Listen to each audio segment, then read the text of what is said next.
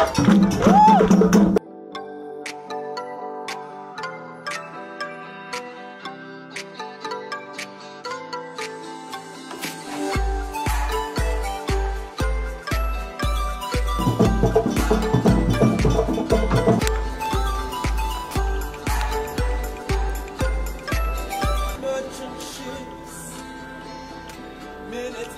they took I from the bottomless pit, but my head.